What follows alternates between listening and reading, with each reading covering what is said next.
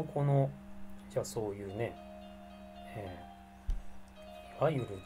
女性とかを意識し始めたのとかってどう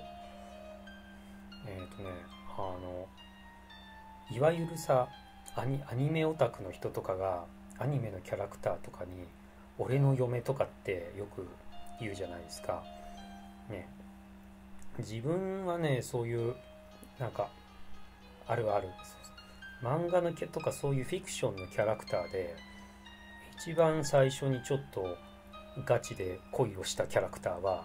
えーとね、新世紀エヴァンゲリオンのね総流アスカ・ラングレーだったんですけど、えーなんでね、えーもともとそのエヴァンゲリオンのなんかね雑誌になんか特集が載っててもうキャラキャラクター性とか全然知らなかったんですけどなんかそこに載ってたビジュアルがねすごい可愛いって思ってねなんでねこうビジュアルから入った方だったんですけど、えー当時いくつだったの？えーっとねいくつだったかな？小5か6かねどっちかだったと思う。エヴァを見始めたのは。6だったかな？う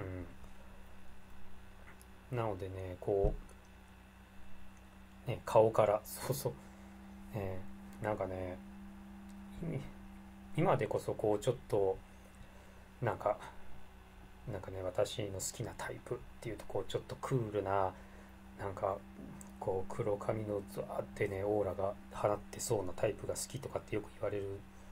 んですけど昔はね割と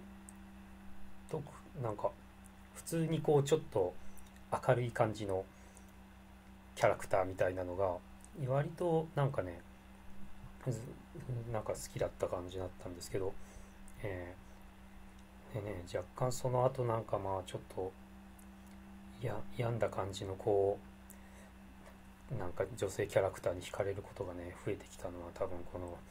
えーなんか最初がアスカだったからなんかこうね後半ちょっといろいろねなんかそうそう。精神崩壊していったりするような展開だったからもしかしてその辺のせいなんじゃないかとかってちょっと思ったり。ねなんですけど男の子の性の目覚めって遅いのかな？うーん。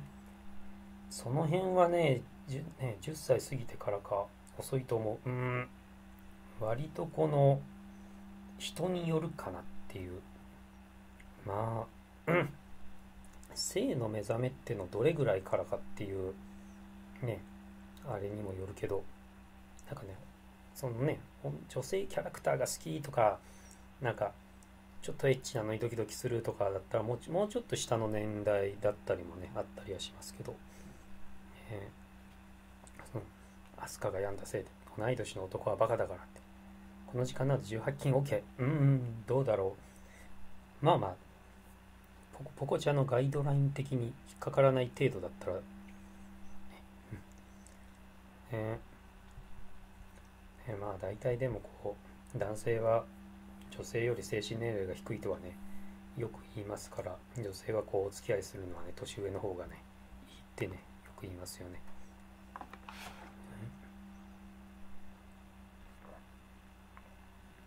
ね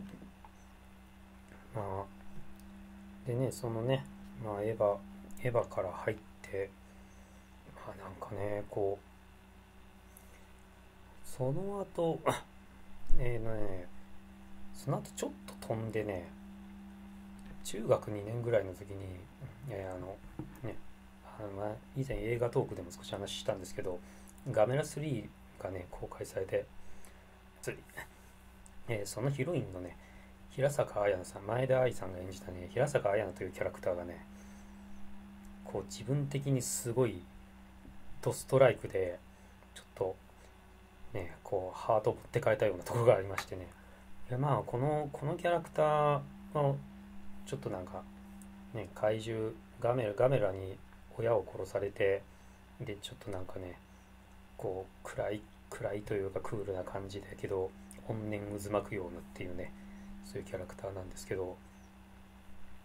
不幸な子が好きなの。うん。特別ねそのつもりはないけど若干その気はあるかも。ね。それ。ってそのあのねその平坂綾菜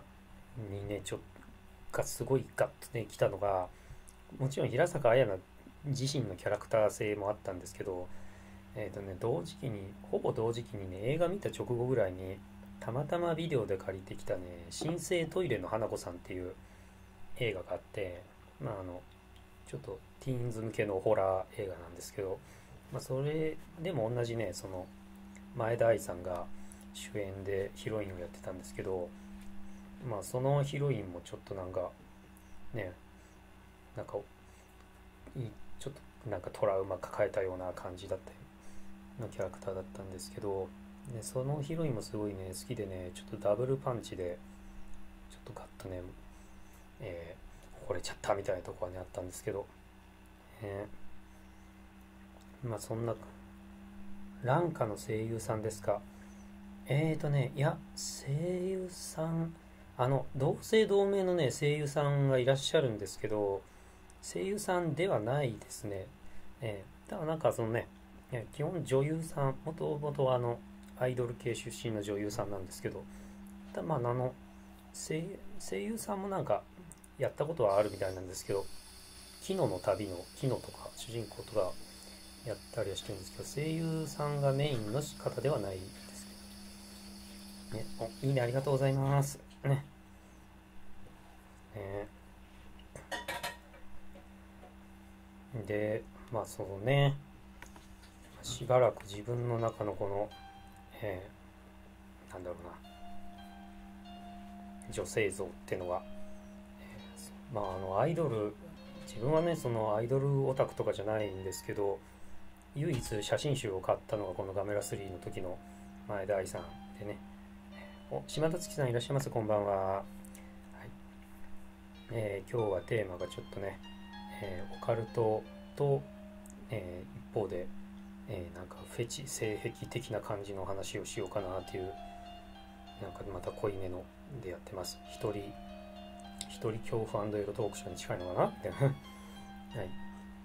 でまあね自分おいいねありがとうございますでまあね自分がこう好きになるキャラクターっていうのでえー、まあね小学校の時に総流アスカラングレーが好きになったのが最初で次中2の時にガメラ3の平坂綾菜に惚れましたって話をちょっとしてましたで、ね、このその後中 2? 中3ぐらいかなあのリングがすごいね流行った時期がありましてあのホラー映画の。なんか最近も貞子でなんか新作やるみたいですけど。でリングの、えー、山村貞子というキャラクターがですねあのまああの皆さんが一般的にイメージするのってこの髪長い感じでグーって目玉ギョロッとしたあの化け物みたいな印象だと思うんですけど、えー、当時あのね流行った時に原作とか読んだんですけど原作の山村貞子さんは、えー、すごいもうもうなんか発酵の美女みたいな感じででなんかこの世でいろいろ不幸があって死んでいってなんかその怨念が井戸から湧き上がってみたいなね感じのすごいかわいそうな感じのキャラクターなんですけどであの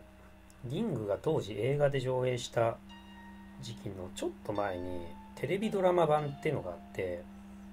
なんかね、まあ、2時間スペシャル。あのテレビドラマってあのリングの映画の後もなんか連続ドラマができたんですけどそれとは別のこのなんか映画の前にやった2時間ドラマのリングがあったんですけど、えー、なんかね有名なのはあの映画のリングだと思うんですけど自分はなんかそのテレビドラマ版の方がすごい好きで、えー、こちらはなんかね原作にすごい忠実ででなんかそう貞子というキャラクターもまあそのいわゆるもう美しさの方を前面に出しててでちょっとこのねアダルトな感じこうあのエロティックな感じというか、まあ、もう裸裸だったりセックスシーンとか普通に出てくるような感じのねドラマなんですけどドラマ版の方の原作兼ドラマの方の山村貞子さんがねすごい好きで、えー、なんでね好きなタイプはって聞かれると大体このなんか3名総理がアスカラングレー平坂綾菜山村貞子とね、えー出るんですけど